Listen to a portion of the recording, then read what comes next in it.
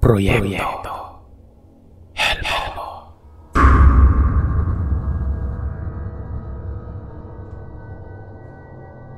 Ang kwentong ito ay binahagi sa akin ng mama ko nung nasa sampung taong gulang pa lamang siya. Kasama si lolo o yung papa niya. Nangyari ito sa Kalaan Capiz. Isang hamod ang lugar nila dati. Malinis at walang kadamo-damo. Napapalibutan ang bahay nila ng mga lube o niyog. Meron din silang pag-aaring uyapad o palayan. Gumagawa din sila noon ng mga bilao, bayong, nipa at amakan. Yung banig na malalaki na gawa sa bambu. Bali doon umiikot ang araw at buhay nila noon.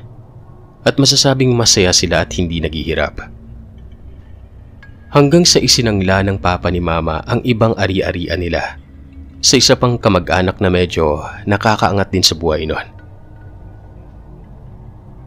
Doon ay medyo nabawasan na yung mga ginagawa nila kaya nakafocus na lamang sila sa paggawa ng basket at bayong.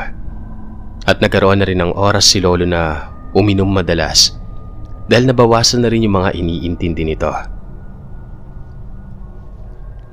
Bumalik na rin ito sa pagtutok sa inaaral niya mga bagong pangontra laban sa mga masasamang elemento. Lalo na sa aswang. Given naman na noong mga panahon na yon ng mga lolo at lola natin, marami na talagang mga ganitong uri ng nilalang sa lugar ng Visayas. Meron kasi mga medalyon itong si Lolo pangontra sa hiwit o sa iba pang mga nilalang na mahilig umatake sa lugar nila. Hindi na rin siguro iba sa inyo ang mga buhay na salita, habak at agimat. Mga bagay na hanggang ngayon ay may nag-aaral pa rin. Kabilang na ako. Pero pinag-aaralan ko pa lamang ang mga ito kaya wala ako sa pwesto para sabihin ito dito. Dahil talo ako kapag nagkasubukan. Ang sabi pa nila, hindi daw tumatalo yung ibang aswang ng kapitbahay. Pero kasi, kapag inabutan na sila ng oras ng tagutom, hindi na namimili ang mga ito nang aatakihin nila. Base naman yun sa karanasan ng lola ko pero sa ibang bahagi ko na ikikwento yon. Isang araw, Maagang pumunta si mama at si lolo sa bukid. Hindi pa ito nasama sa nasanla noong mga panahon na yon. Pagkatapos nila maglinis ng lupa, nagawi naman sila doon sa tubuhan at nag-inspeksyon. Dahil sa marami silang ginawa nung araw na yon ay inabot sila ng alas 6 ng gabi. Pero imbis na umuwi na, itong si Lolo, napatagay ito. Kapag pumatak na kasi ang ganoong oras at lahat ay tapos na sa mga gawain, Mahilig si Lolo na magpainom sa mga tauhan niya. Dahil sa maaga pa naman ayon kay Lolo, nakiinom muna ito sandali sa tauhan niya. Si Mama naman nasa tabi lamang at nakikitawa rin. Marami ang nainom nila pero yung tipong mabilis ang tagay lamang din gawa ng hindi din dapat magtagal ang iba doon sa lugar. Kasi malayo pa ang uuwian nila noon. Parang banding-banding lamang din ang ginawa nila ng mga panahon na ito. Mga nasa tatlong kilometro din ang lalakarin mula sa pwestong iniinuman nila lolo hanggang sa bahay nila. Bali may dadaanan silang dalawang gubat at sapa. Sa kanilang paglalakad, palampas ng gubat, may napansin si lolo na isang hugis ng tao sa unahan nila kaya habang tinatahak ang daan ay sinabihan nito si mama na Hinday, may tao doon oh. Nakatingin sa atin sa malaking puno ng kaimito.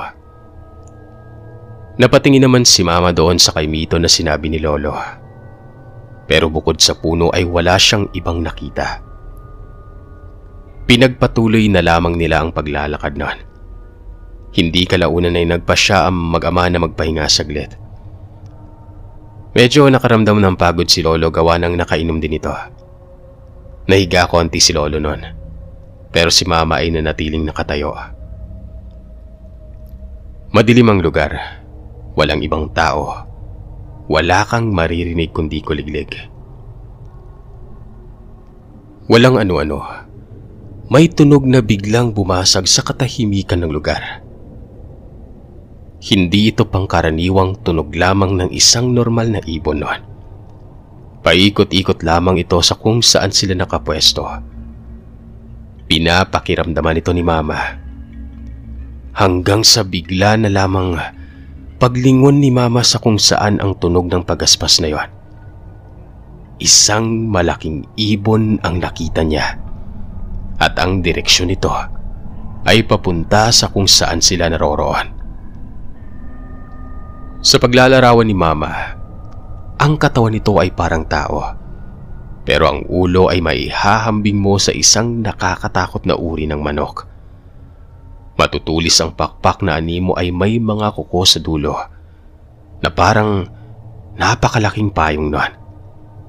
At ang mga paa nito may matatalim at mahabang kuko na nakatutok sa kanila at para bang nakahanda na siyang dagitin nun.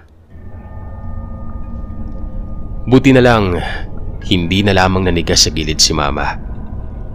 Lumapit ito agad-agad kay Lolo at nagsabi ng, Tay, may wakwak papunta sa atin. Napabangon si Lolo at napatingin sa itaas noon. Agad nitong tinarak yung dala niyang patalim o garab sa lupa.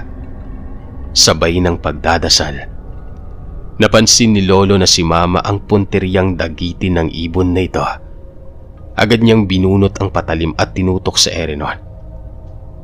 Hindi pa man nakalapit ang ibon na yun kay Mama ay bigla na lamang tumagilid ang paglipad nito. Lumiko na para bang may iniiwasan at bumagsak sa hindi kalayuan.